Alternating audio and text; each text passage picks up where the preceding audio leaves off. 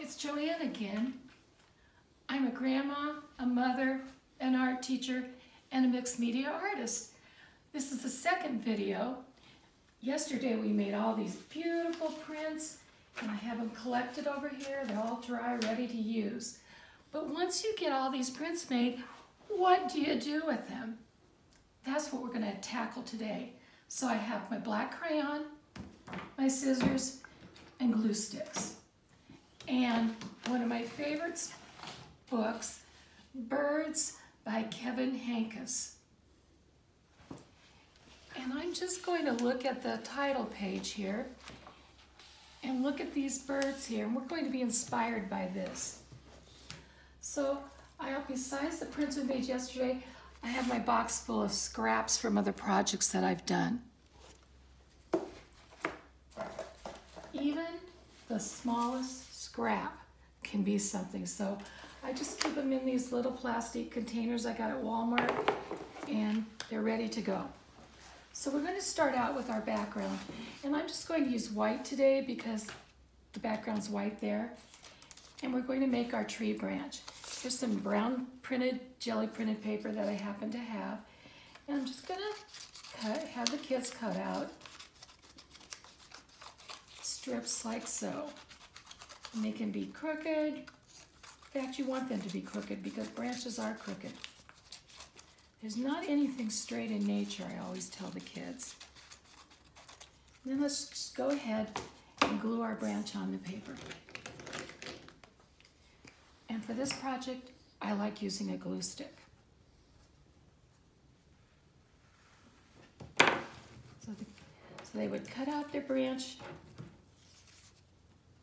and just glue it on the paper. If it goes off the edge, that's okay. Art can certainly go off the paper. Then I'll make some little branches for my other pieces here.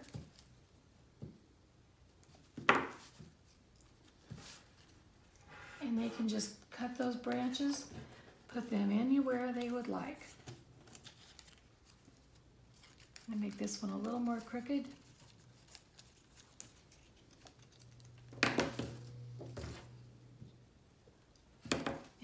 glue that one on down here. And I could leave it off the edge I wanted to, or I could cut it. I think I'm going to leave it. And then let's, I'll do another one right up on the top. Just gonna cut a little of these straight edges off because there is nothing straight in nature very often.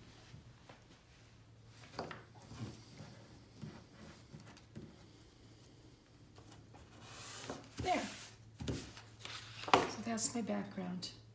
And if this bothers you too much, that it goes off the paper, just feel free to snip it off.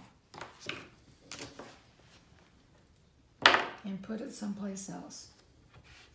Okay, I also noticed that he has some apple blossoms here. And we printed this beautiful pink and it has all the shades of the apple blossom. So I think this would be perfect. So I'm just going to fold my paper, just cut, it in half. And I'm going to fold my paper so I can make some petals. And you can just use your black crayon if you want to and draw petals or you can just freehand cut them out depending on the ability level of your students.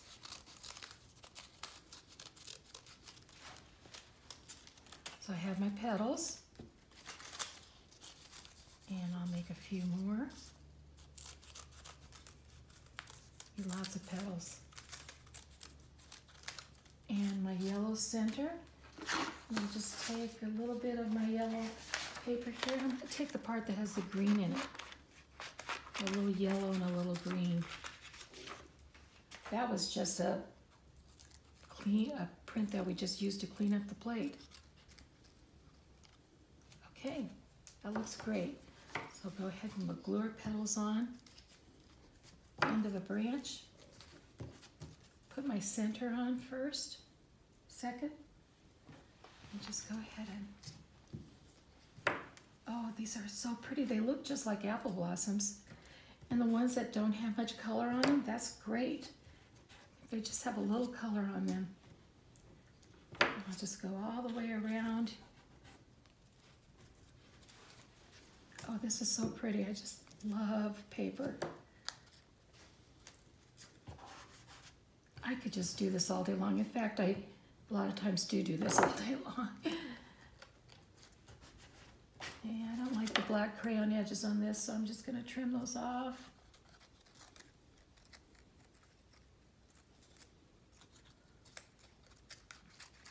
Okay. And that would be one flower, and then you can make more flowers on the branches. And you need some leaves. And the one color I didn't make yesterday was green, but I happen to have green in my scrap box from another project. So I'll just go ahead and use this. This is a really pretty piece. And I'll just cut some leaves out. I'll fold it again so I can get more than one at a time. And I'll just lightly sketch that leaf shape on or cut it freehand, depending on what you're able to do.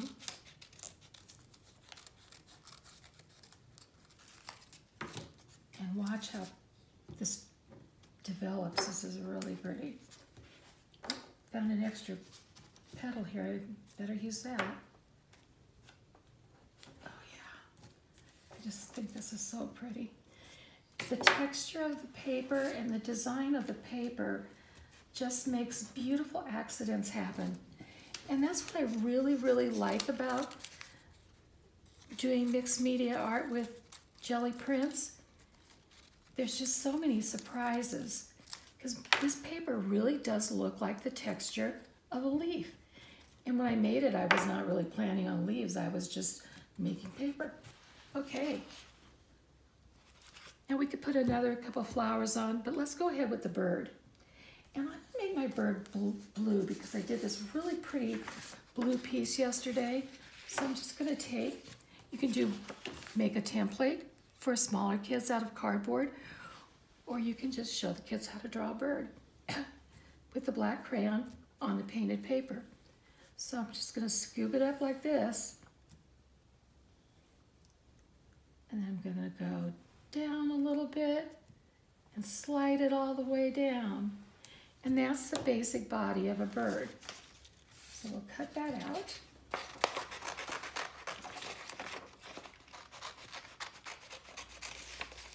And we have some wonderful scraps to use for another project. And when this gets cut out, the textures really even show up more and the, the beautiful designs. And that was a stencil that we used. Just gonna go ahead and glue my bird right on the branch. A little bit above the branch so I have room for legs. There you go. Now he needs a wing. So I have my blue paper here. And for a wing, I'm just gonna do a swoop and just join it across.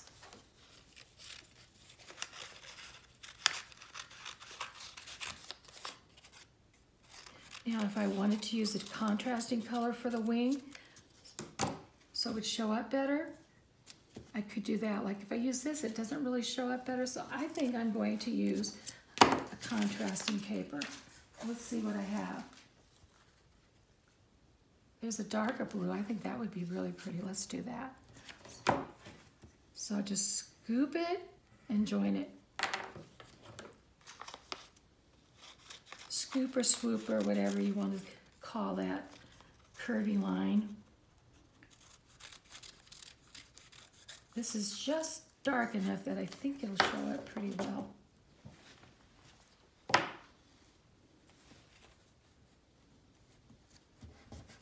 And now he needs his tail feather, which should be out of the same, it could be different, but I'm going to make it out of the same. And the tail feather is just a line up, an echo line across, or a parallelogram if you want to involve math in the process. Art is always really about shapes. And when you do a collage like this, it's all about shapes. Simple shapes together to make something beautiful. And I'm just gonna stick that right underneath him like that. Okay? And the beak is black in the in the um, picture, and I happen to have some black paper here. I'll just snip off a little triangular beak. And all of a sudden, this bird is having some personality. For the eye, you can just use your crayon. And you can also use your crayon to make wing markings and tail feather markings. Or you could use a marker if you wanted to. And for the feet, I'm just going to take and make some slanted lines, black, with some little triangle there. And look how pretty that is. You could add more flowers. You could add more branches. And one thing that I like to do with kids is I like to put something partially on and have the art go off into imagination. So that's what we're gonna do here.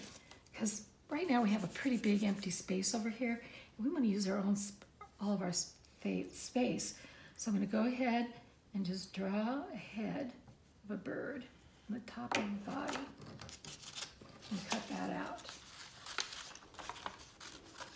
You can make the whole bird and have it go off the paper too. That could be kind of fun. I'm just to simply glue him so he looks like he's cut this extra off because I don't need it. And make my black beak again. This one got a little bit of gold on, which is kind of fun.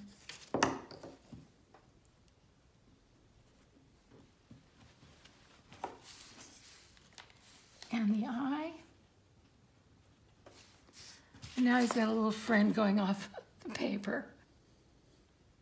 I think the kids could really have fun making lots of branches and the flowers are really fun to make. They're just, you just go around in a circle and layer petals and this is my project for, inspired by Kevin Henkes Bird.